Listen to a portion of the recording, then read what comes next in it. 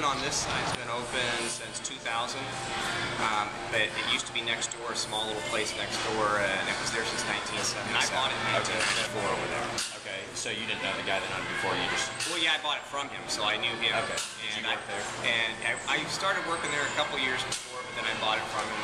So I worked there for a couple years. It's very popular, and it been around for a while when it was in the old place, and then um, I moved it over here in 2000 just to fix it up a little bit because it needed a little something. And then just last year we closed it down for three weeks and added these open windows in the patio, and that it just needed a little upgrade a little bit here and there. But I liked it because it's been around for a long time. Okay. And, uh,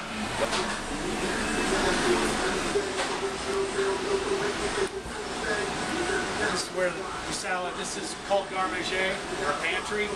Everything starts and finishes like right here. Really like it. It's really laid back. Yeah, actually, we do.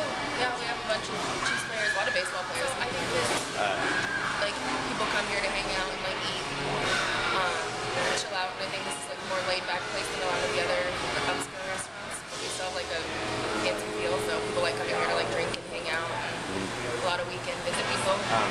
Just like owners, everyone. Like family owned, so it's not corporate. Um, it's pretty laid back. And you know a lot of people that come in here.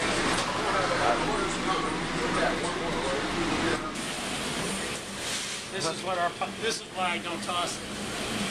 We do it, do it in an oval opposed to the round. We do, we got happy hours in that freezer back here. It's a little barren right now. We go through a lot of meat. Everything is made from scratch here. That was a chance. oh, wow. So, what do you... I really like like the people I work with, uh, the owners. They're really cool. I've known them for years, um, and it's like it's profitable. Yeah. Yeah.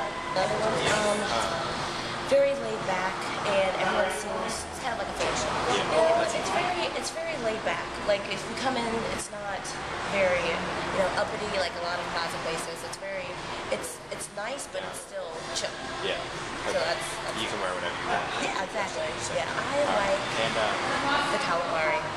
okay. Yeah, calamari's really good. Right, thank you.